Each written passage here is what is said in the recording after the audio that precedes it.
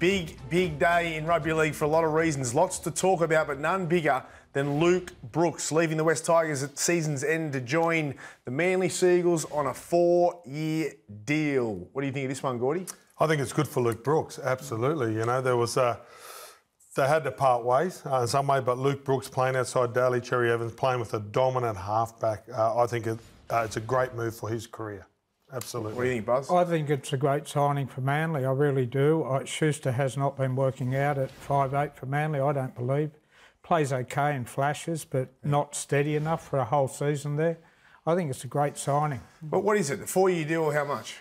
Two point four, two, or two just over, we're around two four, two seven, yeah. Six hundred a year. Yeah. Yeah, it's a good deal. I think it's a great deal for Luke, obviously, because as Gordy said, I think he need to get out of the West Tigers. I think we all knew that. And you already told them he was leaving. He'd already mm. knocked back their, their, contract offer. And I think he'll complement Daly Cherry-Evans perfectly. And obviously, what it means for Schuster, it means he can either move to the edge or he can leave. He's got a year left in his contract. They've mm. offered yeah. him extension. Um, it's up to him whether he takes it. That's what I not. think of the dynamic straight up. So they'll play, oh, obviously, half five eight. DC's on the ball at seven.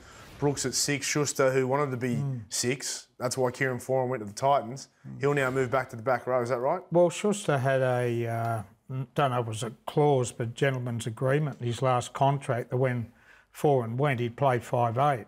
Mm. But Anthony Seibold called him in today for a meeting before he announced Brooks and told him of his plan. And I'm told Schuster coped with it okay. Like he didn't spit the dome. He didn't mm. say, I want to leave. You promised me five eight. So be interesting to see well, how He's only been told out. today, Buzz, so it's going to be interesting to see how it does pan out because yeah. he did get his knickers in a knot last year when he wasn't playing six, and that's why they moved into six, and that's what I mentioned before, Foran had to go. Will he get restless here? Is he a chance of, of, of trying to move on?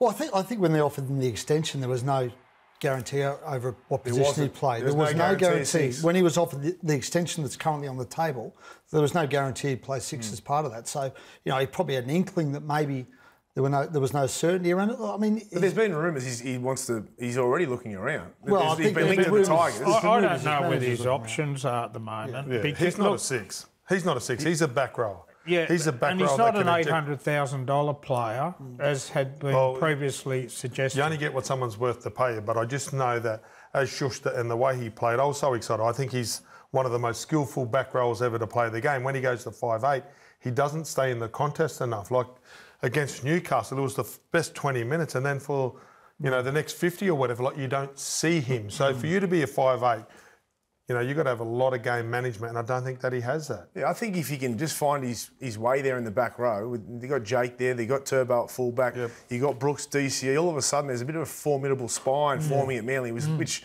they probably need. So, you know, if they can make it work, those combinations, I think it's a great signing. Four years, is that too long though, or that's all right? You happy with the four no. years?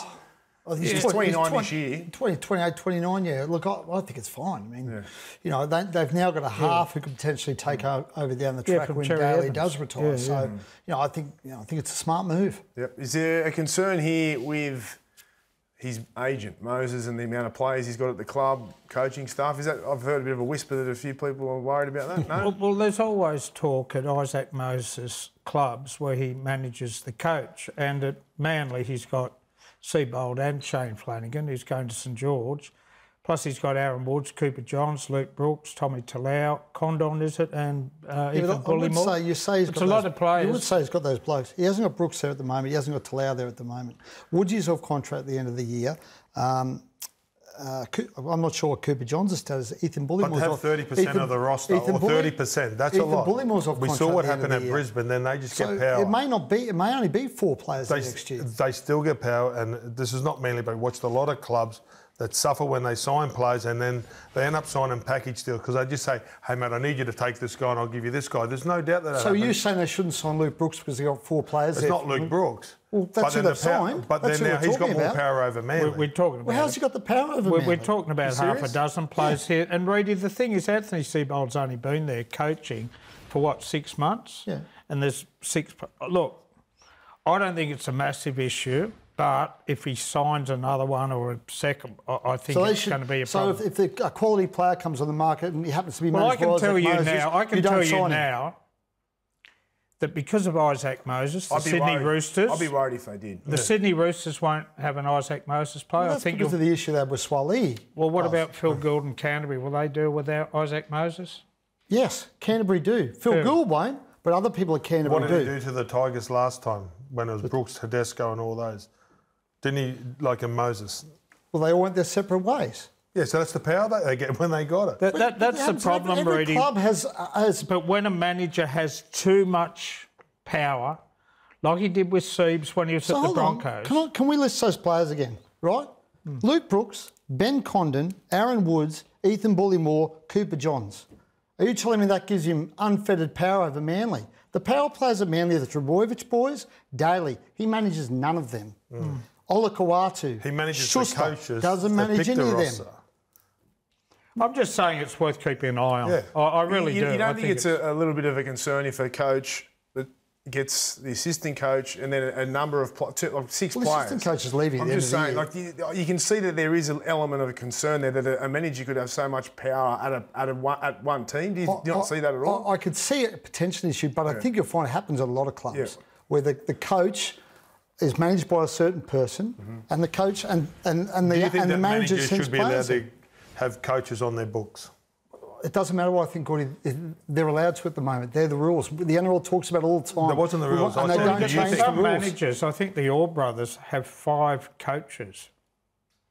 And, you know, the, Yeah. where they have five coaches, they've got players there as well. But I just said it, it's worth keeping an eye on. I think you're right, Buzz. It's not a concern right now with the players on, on the roster you've just mentioned that Moses has, but it's something to keep an eye on because you, I, you know, I think it's a concern if a manager has too many players at one club. I think it can get a bit messy. So it's one to look to, to look at now. The Tigers. Benji Marshall, what's happening there with Fulton? I mean, today uh, Lee Hagipantelis has come out and I didn't even know there was an issue to start off with, but apparently Benji didn't like uh, something that Scott's done, or he, he wants to have, have full control. Or where, where, where are we at here? Well, I they just haven't been on the same page over over Brooks um, and over Schuster in, in, in recent sort of days and weeks, and there were whispers going around. so what, why weren't they on the same page? Did, did Benji want to keep Brooks at the club? and Tyson Frizell's the other one. then, Uh, yeah. But did, Kenji, did Benji want to keep Brooks? Is that one issue? Benji wanted to keep Brooks. and, and does Fulton want Schuster there? Well, that's yeah, that's So what that's the, is that's- that the issue? Because that, that, from the outside looking in, I don't know anything about it. Yeah. But from just seeing that and hearing that, that to me is I like this from Benji. I really do because if he's going to be the future coach of that club, he needs to have his hands all over it. Mm. He, he needs to be in control of key players that come to the club. I would have wanted to keep Brooks too. If you're going to get Schuster in there, they've got note seven now. Who are they going to have Yeah. play seven? You bring hold Schuster on, there. mate. Who's They- Schuster going to play with? They made Brooks an offer, what I thought was a fair offer, 550. Now, my view is Benji needs to embrace Scott Fulton. Benji's had a whack at Mitchell Moses, Shaun Johnson, Tyson Frizell, Ben Hunt. I'm told he had a whack at Munster, and he got knockbacks on all of them. He needs Scott Fulton, who has got connections with agents, a very good eye for young talent. He needs to embrace him and work. He's there He to doesn't always him. need to agree with him. Yeah. No, You of course not. you- of you course don't not. And who on has the power out of them? them But two? if Benji's going to threaten to quit every time there's a disagreement there, you know, it'll it's I think Scott Fulton has the power. Scott Fulton's the one who's put there by the board. Is that, is that should it, should he have the power over Benji? That, that's that's what we're asking here. they just work together. Well, that- That- that's it's But about what balance, if you don't right? like the players, right? So then you're the coach. They're the ones that get sacked. They're the ones that live and die by the result. And you get told who you got to coach. Does Craig Bellamy sign players personally, ring them up, sign them? Of course he uh, doesn't. No. He'll Craig meet meets- them, Craig and meets he no, doesn't. no, but like then I think when Craig you go to the Melbourne, they know what sort of player that they want. Yeah. And there's no doubt that they go and get that Did player. Craig get his own recruitment? How do you mean? Well, I mean, Benji didn't get Fulton. Neither did Sheens. So that could be the problem right there. well, that's part. That's one of the roots of the issue. You know, if yes. you want to be on the same page and you want to be able to work with the guys that are on your team, No, no, in that, terms that- of that's fair comment too. But Benji is a rookie coach. Benji needs blinkers on and vision on coaching that football side. He needs to sit down with Fulton, discuss recruitment, discuss the sort of players they want, Exactly. discuss the salary Well, that cap. should be happening. And then Not if he says, ma- "I yeah. don't want that player," Yeah, fair should- enough. Let's he should move be on. respected. but yeah. there's no need to play it out in the media. Good story though this morning. you just bagged your story. You just didn't. been, that was a backhander. That was a backhander. Well, I've got to say, as soon as I was about to bag it, I remember. he made it. can I say, What do you mean? Like Lee had Mate, that was a great was story. really. story. So, so they were sufficiently concerned about it for Justin Pascoe to ring Benji on Sunday to ask whether there was any truth to the suggestion he was about to walk away over this. I liked your story, by the Yeah, way. thanks. And, uh, and obviously spoke to, and look, Lee said, look, there are they, there are there is some butting of heads, but he says that's um, part of the the they complement each other, and and it's fine that they butt heads over these things because that's what you do, and then you as long as they arrive at a, a- a destination they both can Agree. agree on, then that's the way you want that to operate. Totally. But if I'm Benji, I'm thinking, who the hell's going to play seven now? Who the the hell's going to play six?